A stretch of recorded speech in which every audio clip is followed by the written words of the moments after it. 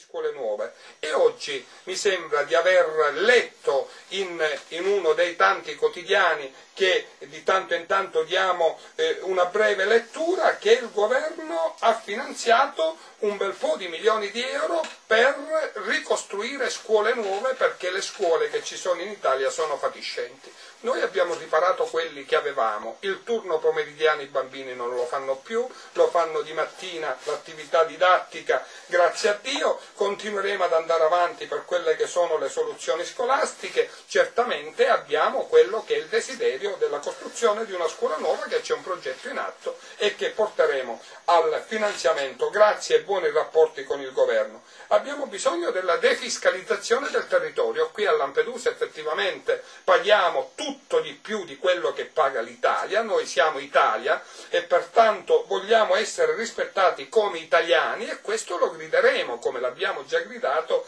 al governo. Abbiamo naturalmente bisogno di quella che è la soluzione definitiva che è all'ordine del giorno del calo della tassa dei rifiuti solidi urbani che molti cittadini si stanno lamentando in queste ultime giornate con l'arrivo di molte cartelle pazze, ma per poter fare questo dobbiamo trovare delle soluzioni alternative. Il costo della spazzatura costa al comune di Lampedusa 2 milioni 750, 1 milione e 50 viene dato al governo regionale. Noi costruiremo un, eh, una struttura per lo smaltimento dei rifiuti indifferenziati, un impianto che già esiste in altre realtà, che calerà il costo del 30%,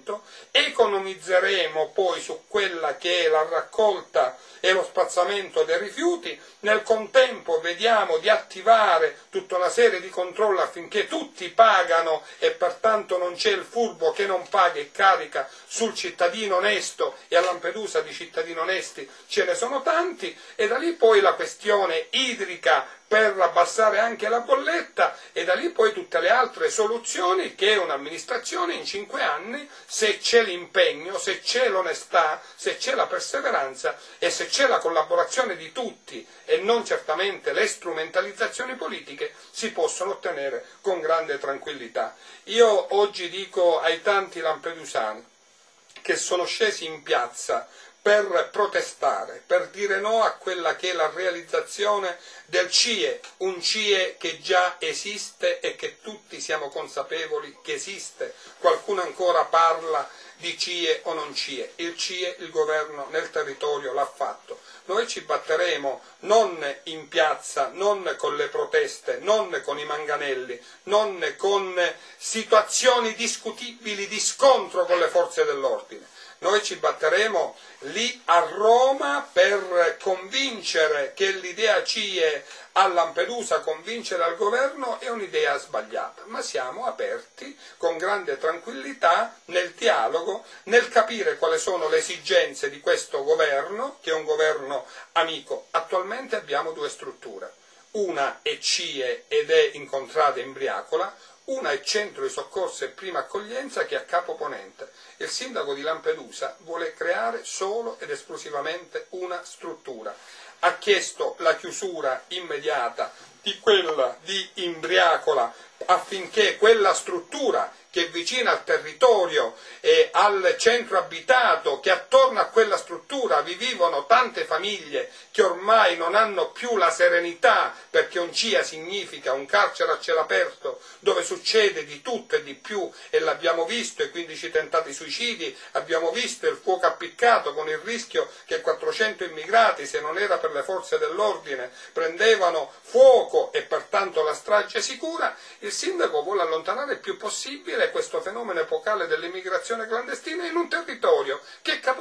capoponente, che non abbiamo mai avuto, che la base Loran. Qualcuno si scandalizza di questo, ma cosa c'è da scandalizzare? Quel territorio era la base degli americani che per diversi anni l'hanno avuta e hanno fatto tutto quello che volevano, successivamente poi la Marina se l'è presa per diversi anni ai tempi del comandante Niosi, successivamente la Marina non aveva i soldi per poterla portare avanti e l'hanno chiusa e abbandonata, oggi può nascere quella struttura di accoglienza che ho definito la cittadella dell'accoglienza verso l'immigrato, che non è un CIE, ma è un centro di soccorso e prima accoglienza, dove poter far vivere bene nella temporaneità, cioè le 48 o 78 ore gli immigrati che giungono dai barconi per evitare che li facciamo annegare per evitare di essere accusati di essere razzisti o razzisti, li accogliamo, li salviamo con gli eventi SAR e poi li portiamo a Capoponente. A Capoponente nascerà una struttura dove ci saranno non militari ma tante di quelle guardie giurate, questa è l'idea del sindaco, che accanto alle forze dell'ordine che servono, ma non certamente mille, ma un centinaio, accanto alle forze di polizia, la scientifica, che operano e che già operavano, lavoravano e accanto a quella struttura una struttura sanitaria dove, lo dico con grande tranquillità, non disturbano quelle che sono le attività sanitarie dei cittadini che già hanno tante di quelle sofferenze e che spesse volte si vedono passare davanti l'immigrato perché ha la necessità, perché c'è l'emergenza e aspettando quella che è l'assistenza sanitaria che il cittadino o l'anziano effettivamente può avere immediatamente. Queste sono le idee del sindaco, noi non vogliamo creare due strutture. Noi non vogliamo creare un mega carcere, noi vogliamo creare una struttura sicura dove non accadono delle situazioni che già abbiamo sperimentato, dove c'è la consapevolezza dell'immigrato che arriva sul territorio per un breve periodo e poi se ne deve andare, perché il peso del fenomeno epocale dell'immigrazione clandestina, e questo lo dico al governo nazionale, regionale, a chi ci ascolta, grazie a libera espressione, non può essere caricato solo al popolo di Lampedusa ed un'isola di 20 km quadrati che nasce a vocazione turistica e che noi sinceramente vogliamo crescere vivere e vogliamo dare la possibilità ai nostri figli di avere un futuro migliore grazie al turismo e certamente non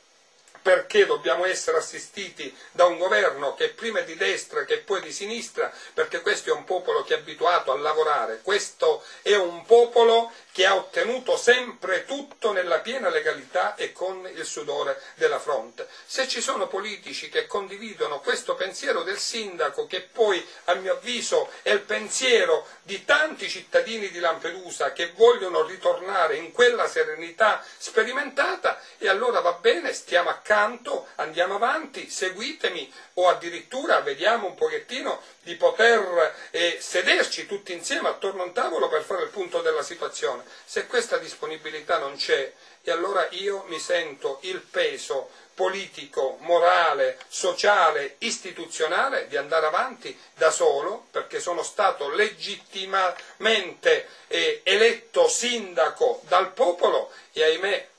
non portatemi a ragionare in una maniera o a ripensare nel dire forse ho sbagliato di aver dato troppo confidenza ad altri e dovevo ragionare con la mia testa e forse non si arrivava a questo. Io questo ragionamento non lo voglio fare perché di cuore sono buono, per carattere sono molto aperto, quando sbaglio chiedo scusa e mi inginocchio e chiedo perdono, ma nel contempo però dobbiamo tutti capire che oggi non c'è un ragionamento di destra o di sinistra, oggi c'è il bene delle isole di Lampedusa e di Linosa e il bene di Lampedusa e crescere nel benessere, per crescere nel benessere noi dobbiamo crescere nel turismo, non certamente con il fenomeno epocale dell'emigrazione clandestina che siamo giustamente costretti ad discutere, ad accogliere, perché non ci sono altre strade, perché siamo la meta più vicina, perché siamo la meta sperimentata, perché è giusto che questa gente, dopo che affronta un lungo viaggio,